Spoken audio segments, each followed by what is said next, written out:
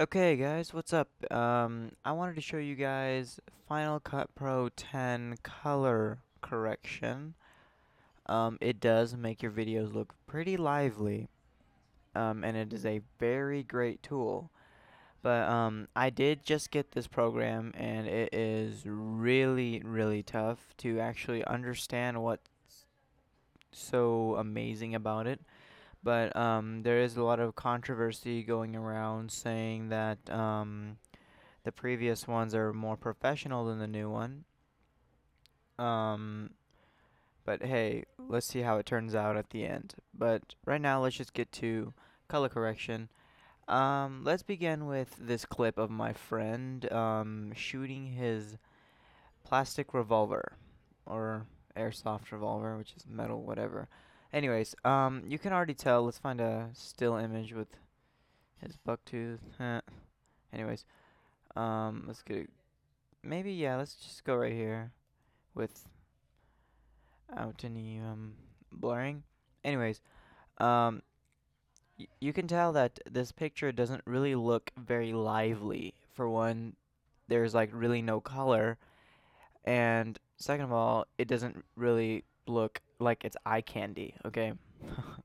Anyways, so let's start off with color correction. First off, if you have this, if you don't have anything right here, um, press this information tab or the I button. And right here is your correction. This is your primary correction. This is your color. Anyways, but we are going to do be, be messing with the correction 1, which is your primary color correction. And to open your color wheel, well, not color wheel, not in Final Cut Pro 10 at least, or X, I'm sorry. And it, it is more of a color board. Um, obviously, you see that there is no circles or wheels it is, except for these four um, little contraptions and three tabs. Okay, so let's explain everything. Um, I am still new to color grading on here, or color correction on here, but um, you can tell that this is your global, this is your shadows, and this is your midtones, and this is your highlights. That is for your color board. The saturation board, this is your global, shadows, midtones, highlights. Same goes for right here. Okay, so let's begin. We are going to start on exposure first, um, and possibly darken this a little bit. Uh, we are gonna get go for a colorful look here in a bit. So, if you see, this makes it look a lot more sharper. This was recorded with a um, AVC HD camera I still do not know how to import AVC HD into Final Cut, so I had to use my Adobe Media Encoder. Anyways, um, we can go with a negative 26, but normally it's preferred if you stay around the 20s range. Um, okay, so we can, you can see what the, that, that was the shadows, but now we can see what the midtone does it um, brightens or darkens the exposure or the lighting of your midtones, obviously. So let's kind of put that um, down, negative 13, and then this is just your white balance, kind of. So um, we can make that a little bit bright, kind of keep that sunlight in there. And now on to saturation. Saturation is your color, or how lively your color looks. Okay, so we can start off with the darker things. Like you, if you bring this all the way, or if you bring your global all the way down, it is a grayscale, but we don't want that. We want a more colorful look, so we can boost up your global a little bit, maybe to 5. Um, you'll see a difference here in a second. And then right here, we can boost up the shadows, maybe to 20 and you can also if you want you could boost up this boost this up to 20 this is just a tutorial on um, how to use this. It's not really me making a really good color correction but I'm just showing you guys what it can look like. Alright, this will give you a more of a better look, but we're gonna just keep that maybe at 8. Okay, so you have that, and now onto color, which is your tint. Your tint is a very vital, um, this color tab is very vital to every shot. And since we are outside, we can take this global and move it into a little bit of yellow. Maybe 3% is good to give it a warmer feel. And then we can move, we don't even need to mess with the blacks or the shadows, because I mean, that's a lot of different work. But, uh, um, okay, yeah, let's just do this. Let's keep the, let's keep this at 5. Okay, and then now, we can move our midtones, if we want. Um, we can give it not a bluish look, really, because already has too much blue. We can maybe go for a little bit more right here and then no. Alright, that's good.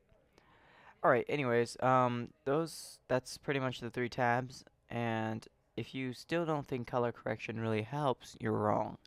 So um this right here I will turn on and off and I'll show you the difference of color correction. And remember this was shot with a 1080p camera um, so there's really nothing wrong with the camera, it's just that color correction is always needed. So um, let's preview between both. Voila. That is the original clip.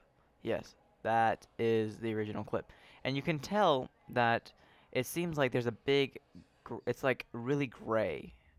That's because when recorded, it lost a lot of sun or the uh, sunlight really didn't reflect as much color into the camera as much as you wanted unless you had an SLR camera which would be completely different but anyways this was recorded with a handycam and so it didn't really take in all that color and you can see me kind of flipping back and forth through it um, you can see everything looks more lively and if you let's kind of preview this is a little clip from um, our upcoming video.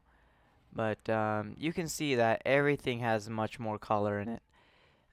I previously uploaded this video um, on my actual channel, Amillienaire.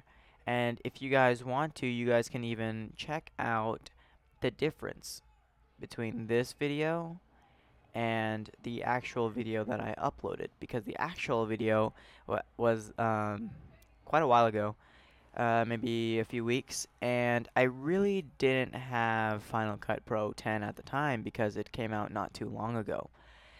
And so now that I use color correcting, it looks so much better, honestly.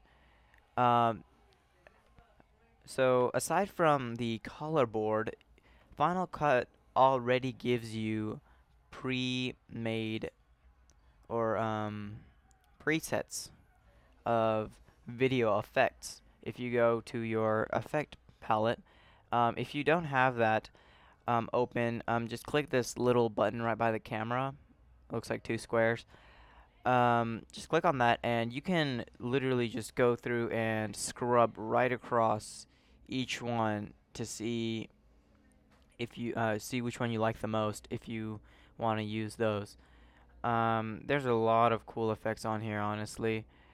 Um, okay, maybe let's just say we like this one. Alright, no, you know what? Let's go to, uh, let's find a good one. We can maybe, no. Yeah, let's try this one. No, you can't actually see the difference.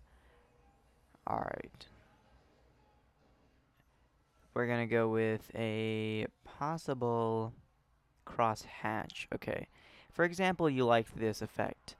What you would do is you would click on it, or you don't you don't even need to click on it, but I mean you can just take it, drag it right on top of your clip, and bam. Your picture or your video is rendered. And do you see this orange bar right up here? That is showing that it is pretty much rendering or is done rendering. Anyways, this is all of the preset things that you can use within your project. And a lot of these are very helpful, honestly. Like, if you wanted a night vision look, you can always do that.